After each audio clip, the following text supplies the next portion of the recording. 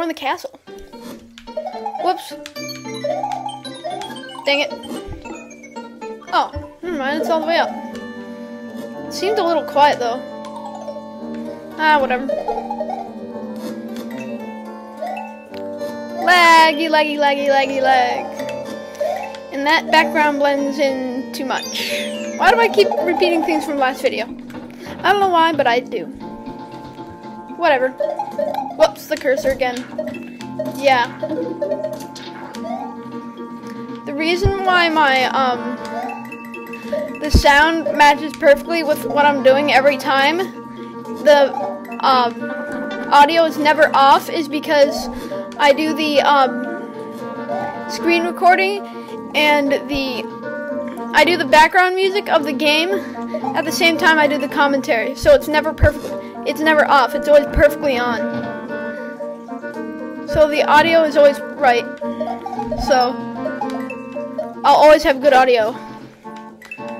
That will always be perfectly aligned with the video itself. That's the advantage of having sound effects and the commentary at the same time you're doing the video. I'm doing the screen recording and the screen recording with um, a mic. I'm doing a screen recording with a mic with QuickTime X, and this QuickTime X allows me to use a mic while using a screen recording so I can do commentary and the sound is just coming my, from my speakers which are really loud. It makes its all way all the way through. And now I'm doing some crap. I'm at the door! Cause I'm awesome. Iggy! Iggy Poopa. Big Poopa. Mario Clear. Spit. Oh yeah. Boosted. Continue and save. Down the pipe we go. And down the pipe we go. Oh, wow. Holy but. No. No. What? No! What? Aw, oh, crap. Come on. You kidding?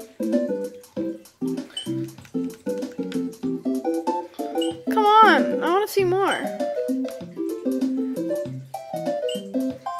Gotta be kidding. How is this possible?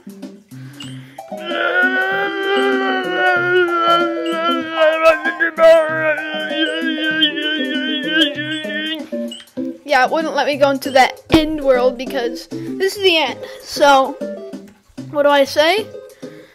Well, no, not that level. Well, what do I think of this level? I mean, this hack. I'm stupid. Um, I think it's cool. It could use some work, like, with that. It said that in the readme, but hopefully he can fix that later on.